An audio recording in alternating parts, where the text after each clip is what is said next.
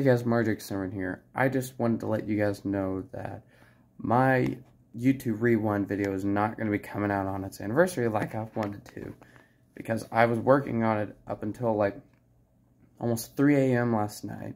And for some reason, there, there's some sort of video or clip that I'm using that doesn't want to let Cyberlink PowerDirector 8 produce the video.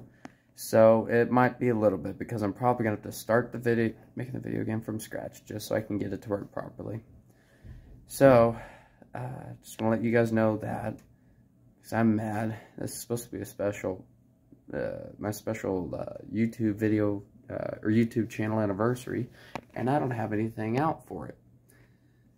But I wanted to let you guys know about this ahead of time so you guys uh, could still be expecting something, but it won't be today anyways, guys, uh, thank you for listening, and, uh, yeah, happy anniversary to me, I guess, I don't know.